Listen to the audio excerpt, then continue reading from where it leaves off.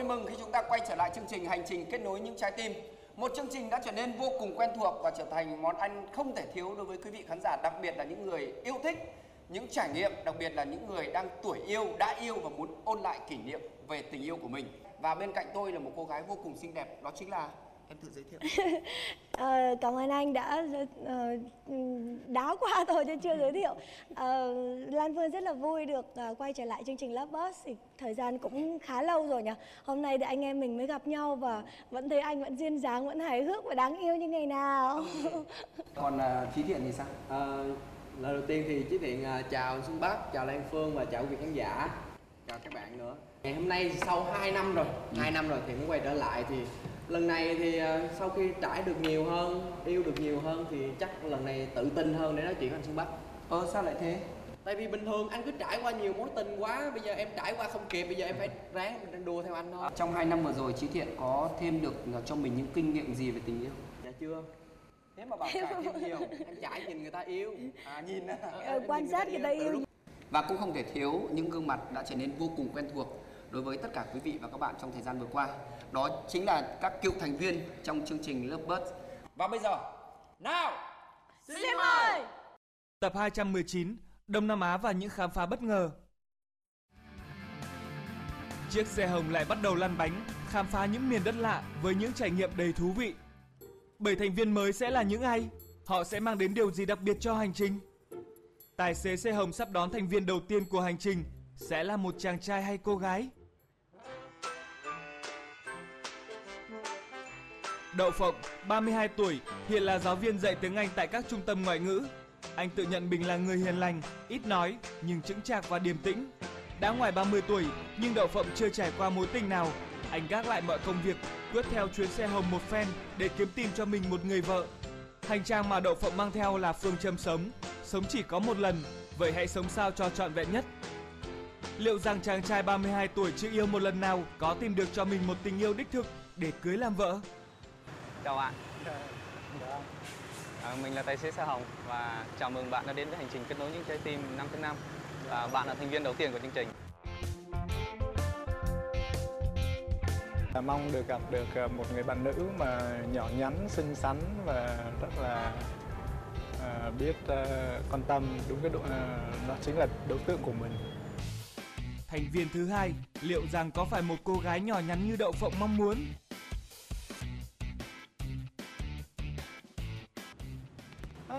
Saudi car. Who? Ah, I'm the tour guide. Yeah, okay. Welcome to the Love Burst. Okay, please. come Anh chàng giáo viên tiếng Anh lại gặp ngay một người mù tịt về ngoại ngữ này. Where you from? Do you speak English? Do you speak English? yeah. Nó đùa với bạn thôi, mình cũng là người chơi giống như bạn thôi. okay. Khú hả?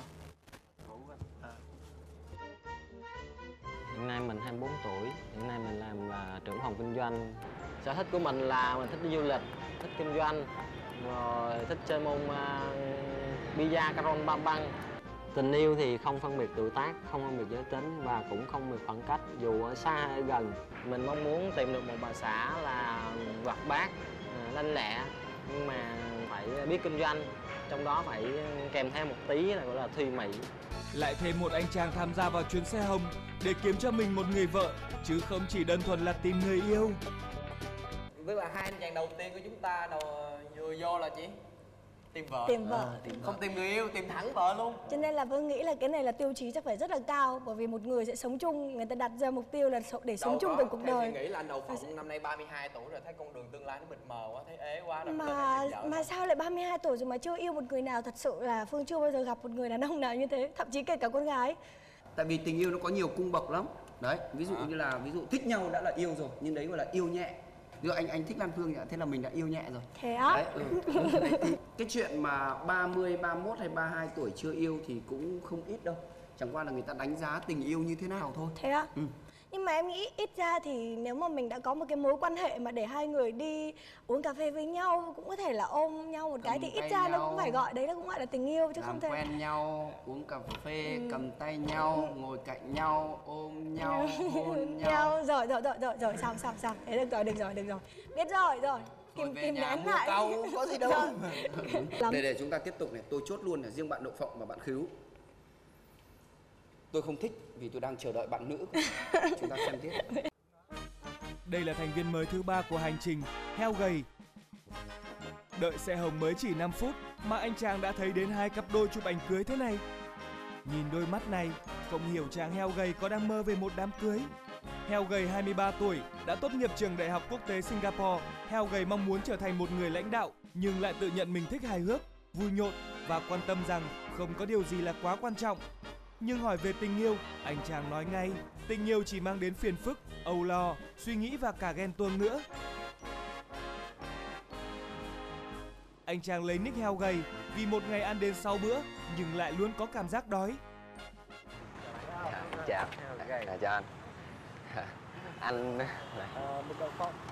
Còn đây là à, đây rồi đến mình rồi Bây giờ trong cái phong bì này tôi có điều bí mật dành cho các bạn. Các bạn đọc xem. À, đây là các bạn xem là cái hình và tên nickname thì là sẽ hợp với từng bạn nào? Không. Bé sữa là phải uống sữa mà giống như thường là đậu phộng là phải ăn đậu phộng đúng không? đúng rồi. Còn bé nắng á nắng thì phải ở trong mát nắng Không. không ở ngoài được nắng phải ở ngoài nắng nhá không nắng là phải chui vô mát ở còn tắc kè là phải sống ngoài vườn chính xác Xin mời các bạn ừ, xuống xe. À, bây giờ thì các bạn sẽ ra công viên và sẽ tìm à, một người bạn à, nữ đồng hành với mình. Ôi con nữ kìa Công cuộc tìm kiếm các bạn nữ bắt đầu.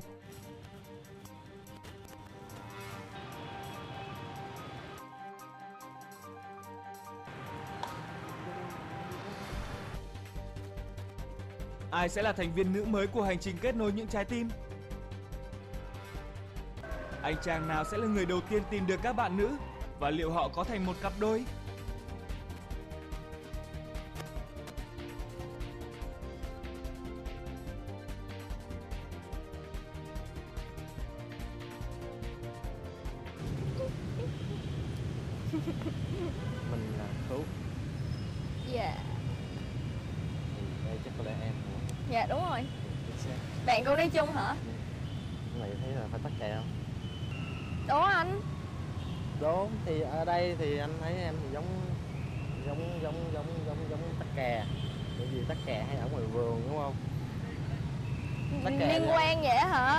Kè nó sống ngoài vườn thì ở đây chỉ có cỏ nè có vườn Không, cái hình này em chụp lâu lắm rồi Hồi xưa em đâu biết ờ, là em ờ, tham gia chương trình này đâu Sai rồi, em là này nè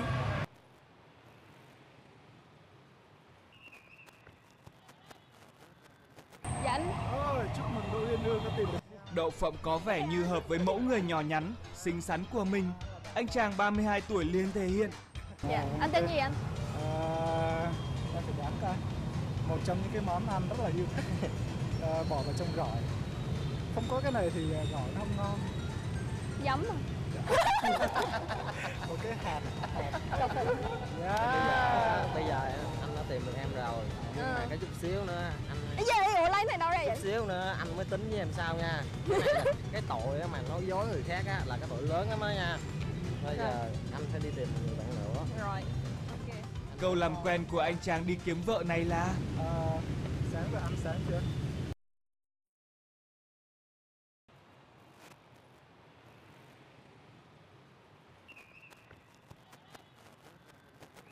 Anh làm hướng dẫn cho tụi em em nghĩ là hướng dẫn mà có một cái tên rất nêm sao? Sao trơn kỹ quá vậy? Em, Hello à, em tên gì?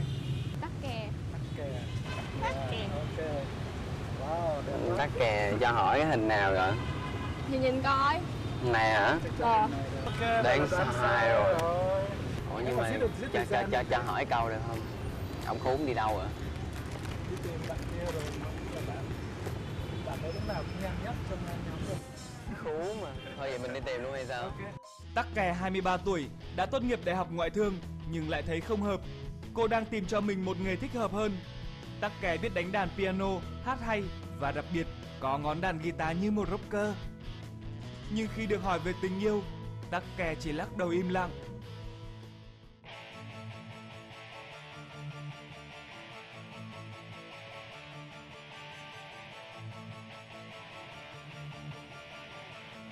Hình như cô gái này là thành viên nữ mới.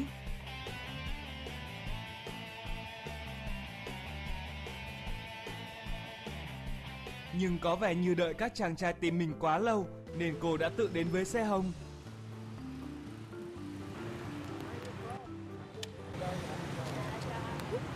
Chào bạn. Chào bạn. Còn đây là tắc kè, còn đây. Dạ, em là Nắng. Anh là Sao mình lúc nào cũng là người đến sau vậy? À... Là Nắng, năm nay mình 21 tuổi và mình đang là sinh viên năm cuối trường đại học Tôn Thắng. Sở thích của mình là làm bánh, du lịch và chụp hình. Mong muốn của mình lên hành trình là mình muốn ờ, đi du lịch cùng tất cả các bạn, rồi làm các công việc ờ, từ thiện. Mình không có một cái mẫu người bạn trai lý tưởng nhưng mà tại vì là không có ai là hoàn hảo cả cho nên là mình mong muốn là trên hành trình này sẽ tìm được một Mr. Right chứ không phải một Mr. Perfect. Được chương trình thông báo sẽ đón thêm một thành viên nam nữa ở sân bay Tân Sơn Nhất. Không hiểu thành viên nam sẽ thế nào khi được nghe thấy điều này từ các cô gái. Ờ, em cũng ờ, không phải là đoán mà em hy vọng thôi là bạn đó sẽ ờ, cao ờ, Đẹp trai. không không người đẹp trai đâu Ờ, chắc chắn là không phải là người Sài Gòn hy vọng là con trai Hà Nội Ừm, vui vẻ giống mấy bạn này là được rồi. Trên suốt quãng đường ra sân bay, Khiếu đã tranh thủ tiếp cận ngay với cô gái này. hiện tại thì đang ở đâu? Thôi cái này chắc có lẽ là từ từ biết anh cái hiện tại mà em còn không nói được thì sao em nói để từ từ biết được? Không tại vì thường thường người ta nói là bí mật làm nên sự quyến rũ của phụ nữ. Cái này đâu có là bí mật. Thì có gì á những cái nào mà mình chưa biết á thì từ từ mình tìm hiểu. Nó sẽ hay hơn là đùng cái là anh biết liền em bởi vì em nói không phải rồi cái này là thật sự ai cũng được biết mà không phải là bí mật hết. Nó đâu có cái gì gọi là bí mật đâu đúng không? Không thì nói chung là mình cần biết nhau là ở Sài Gòn được rồi. Nhưng buổi tối hôm đó, anh chàng đi kiếm vợ này đã tiết lộ một sự thật. chung ba bạn nữ thì đúng ra cái cô gái đầu tiên mà em ấn tượng là cô gái mà em đã tìm ra đầu tiên. Đó là tắc kè. Nhưng em đã nhận ra là cô ấy là tắc kè nhưng mà em hỏi thì tắc kè lại nói dối em. Sai rồi, em là này nè. thì lúc đó thì em cũng hơi buồn. Cái này hắn trò đùa nhưng mà trò đùa hơi quá khi một người đi tìm kiếm. Thì cũng có ý định là sẽ nghiêng về nắng. Nhưng thì sẽ thời gian còn lại sẽ mình sẽ hiểu biết nhiều hơn. Xem ra sự đùa giỡn của tắc kè đã làm tổn thương anh chàng bỏ hết công việc tham gia hành trình để kiếm vợ này.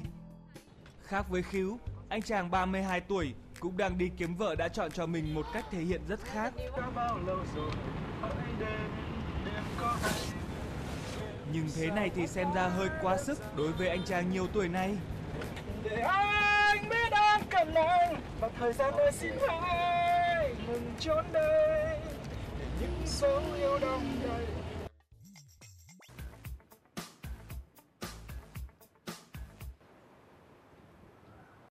Xin chào khán giả yêu Lovebirds Mình à, năm 24 tuổi và hiện là mình kỹ sư điện. Sở thích của mình là hội họa và chơi thể thao. Mình à, là một người nhiệt tình, à, vui vẻ và hòa đồng và có trách nhiệm với công việc. Mình hy vọng trên chuyến đi hành trình kết nối những trái tim Mình sẽ tìm được một người bạn gái hiền và biết lắng nghe, biết chia sẻ với mình trong cuộc sống.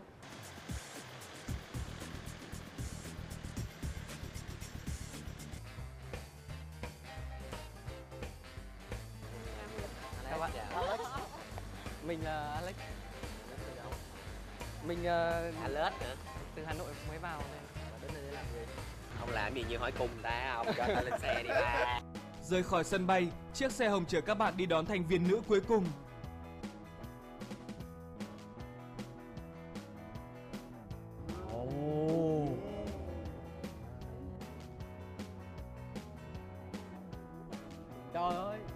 xinh thế bạn, mình là Sữa, năm nay mình 21 tuổi và hiện nay là sinh viên. À, mình sinh ra và lớn lên tại Quy Nhơn, Bình Định nhưng hiện nay thì đang sinh sống và học tập tại thành phố Hồ Chí Minh. À, nói một chút về tính cách của mình thì mình là người à, hơi nhạy cảm, à, dễ xúc động, dễ vui, dễ buồn à, và hơi hơi lãng mạn một xíu. Mình thích đi du lịch, thích đọc sách, thích nghe nhạc à, và mình đặc biệt rất thích Lê Hiếu. Ngoài ra mình còn thích chụp ảnh về mẫu bạn trai lý tưởng thì mình thích những chàng trai à, chững chạc, à, có chí cầu tiến, à, sống có trách nhiệm, bao dung và biết quan tâm giúp đỡ mọi người. Đúng là khi người ta đi tìm vợ thì sẽ sốt sáng thế này. Không, anh xuống trước đi, mình xuống sau. Đấy, Đó, vậy đi. như kiểu Rồi. Dạ. Dạ, biết sữa.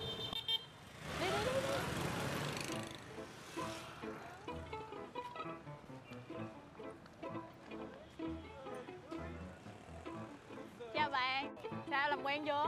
Bạn tên gì nhỉ? Biết sữa. Sữa à? chương trình bắt đầu sẽ hay với những cái tính cách như thế này Tại với vì- những con người như thế này bảy tính cách bảy bảy người mà bảy tính cách khác nhau rất là thú vị cũng có cái chung đấy ví dụ như là bạn sữa thì bạn tự nhận là bạn nhạy cảm giống như bạn khứu thấy có vẻ như là hai tâm hồn mà cùng nhạy cảm cùng đồng Ừ. nhưng điệu mà với hai nhau tâm thì hồn cùng nhạy cảm không bao giờ đến được với nhau hết trơn á ừ có thể Đúng. phải có một người cứng rắn thì khi người kia nhạy cảm còn có bờ vai để chia sẻ đúng không bây giờ tôi hỏi các bạn là ờ, các bạn thấy hành trình của chúng ta với 7 thành viên mới như thế nào? Ai có ý kiến gì và đặc biệt là ấn tượng với ai? Thì uh, bắt đầu nói Việt Nam thì thấy ấn tượng nhất là bạn Phú Phú. uh, ban đầu khi mà vừa mới gặp uh, cái anh uh, 32 tuổi đó ừ. số chỉnh cái anh thì anh Phú chỉ là mình đi là mình bước lên xe thôi Ừ. Thế xong rồi uh, cái hồi mà lúc mà kiếm uh, được uh, bạn bắt kè đầu tiên Ừ.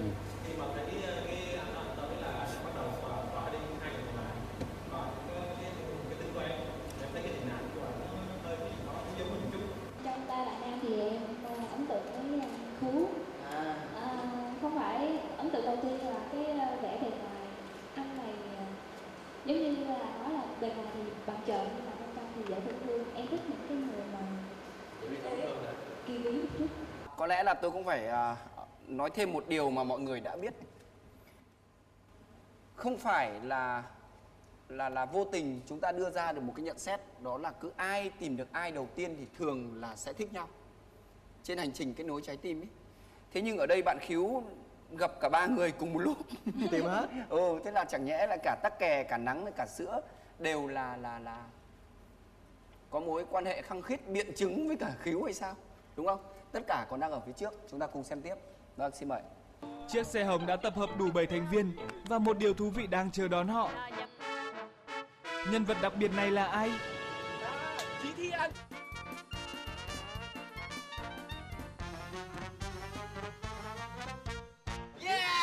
Thì ra, đó là ca sĩ Thiên Vương, một MC quen thuộc của chương trình với những bình luận sắc sảo và không kém phần bốc đồng như thế này.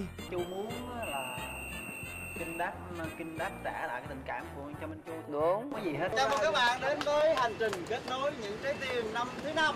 Các bạn có biết là tại sao hôm nay Thiên Vương à, mặc đồ như thế này không? Bộ đồ này là bộ đồ à, của dân tộc Lào.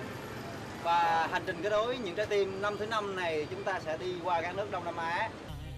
Tại miền Nam nước Lào, chuyến xe hồng sẽ lăn bánh qua 4 tỉnh Atapeu, Saravan, Sekong, Champasak.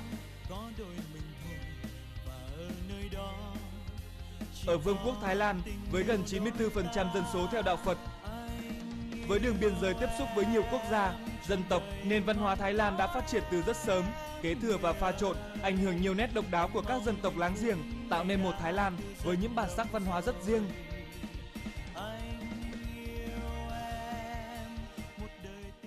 Vậy thì trong vòng 30 phút, tại vì các bạn đã tiếp xúc rồi, thì bốn bạn nam đã tìm ra được đối tượng mình chưa? Có thể trình bày cho Thiên Vương biết. Có thể là có hay không thôi, không cần chỉ ai hết. Bạn, có. Còn bạn? Dạ nãy giờ em lo ngủ em chả để ý ai. À, bạn cơ hội bạn thất bại hơn nhiều đấy. Còn bạn? Có. Có luôn rồi.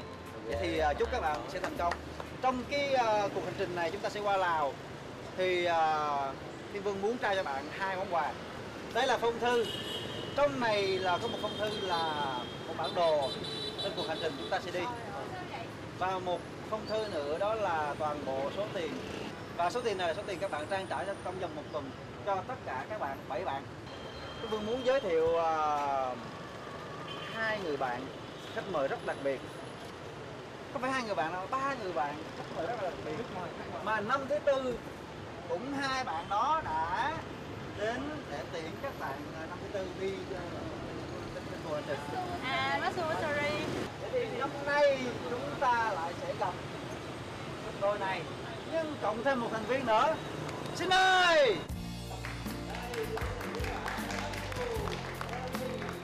Đây xin giới thiệu với các bạn Masu Suri và em bé Suri. Suri Dễ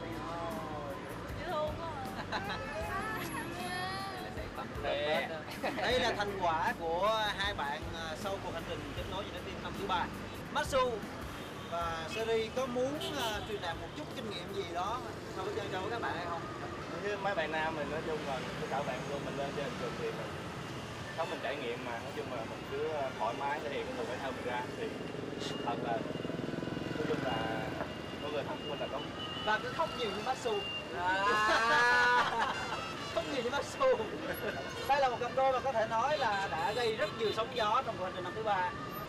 À, còn bây giờ thì không làm mất thời gian của các bạn các bạn nữa. Chúc các bạn thành công nha. Em nhớ là lúc ờ, hai năm trước hai năm trước là anh em mình còn nói với nhau là cái anh chàng này cứ như vậy thì làm sao mà có vợ được. Đúng rồi. cứ khóc như vậy mãi làm sao có vợ được. Nhưng mà thật ra em đã nhận ra được một điều là cứ thể hiện tính cách của mình trên chiếc xe chắc chắn sẽ có vợ. Đúng. Cứ là chính mình cứ là chính mình thì sẽ có vợ được là chính mình. Điều quan trọng nữa tôi đang muốn nói là gì? Tình yêu đơm hoa kết trái Những cái thứ tình cảm đẹp chúng ta có trên chuyến xe Những hành động đẹp, những công việc tốt mà chúng ta làm. Và cụ thể là đó cũng là một cái cơ hội. Thông qua chương trình cũng là một cái cơ hội thực sự để các bạn có thể tìm được một nửa của mình Với hạnh phúc nho nhỏ. Và đặc biệt là với cái cái, cái, cái em bé ở trên tay ấy Thì tôi đang cảm nhận được cái niềm hạnh phúc dâng trào trong cả gia đình nhỏ của của của Masu và và bạn Suri. Phải nói là rất tuyệt vời. Tôi rất muốn là tất cả chúng ta cùng dành một tràng vỗ tay nữa để chúc mừng hạnh phúc cho họ.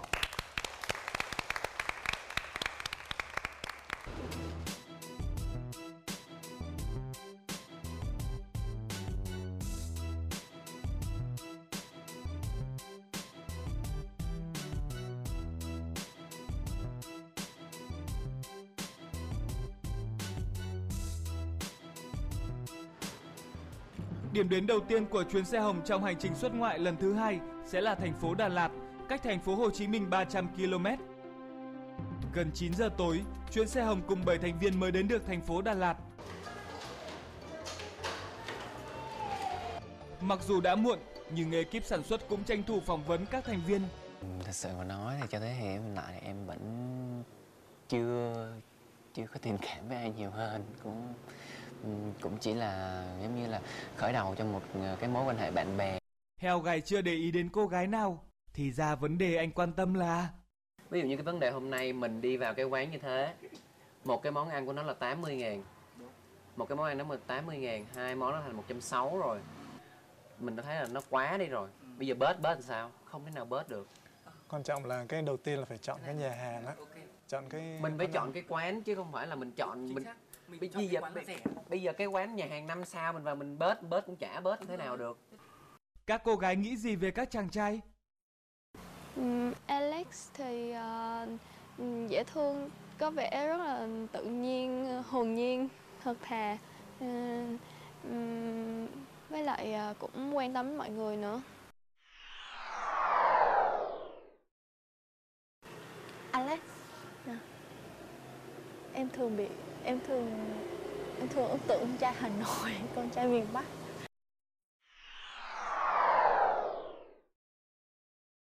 Em thì ờ, em thấy bốn người giống như nhau. Em cũng không có thấy ai ấn tượng hơn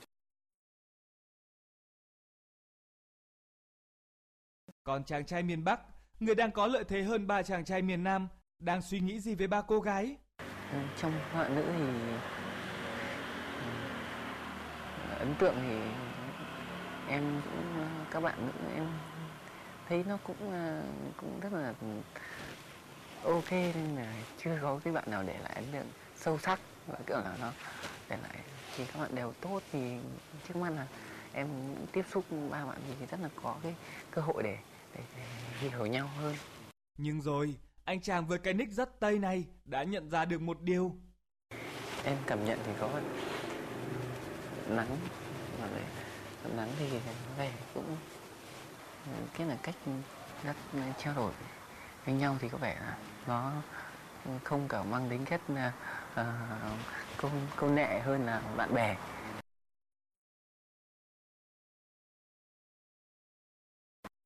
Đây là cảm nhận về ba cô gái của anh chàng giáo viên dạy tiếng Anh. Đã 32 tuổi mà chưa có một mảnh tình vắt vai. Hôm nay thì như giúp đỡ các bạn thì em thấy bạn nào cần thì em giúp đỡ thôi chứ chưa có tập trung vào bạn nắng. Nhưng mà ngày mai thì em sẽ để ý hơn về những um, cái um, cái sở thích của bạn thêm, tìm hiểu thêm về sở thích của bạn để mà có thể là buổi sáng mình thấy để ý đến bạn thích là thích xem tranh hoặc là thích đọc sách bàn luận về sách thì mình có thể là mình um, tìm hiểu về thêm những cái đó chứ ờ, tạm thời thì chưa có suy nghĩ ra được là tặng quà hay là làm những cái gì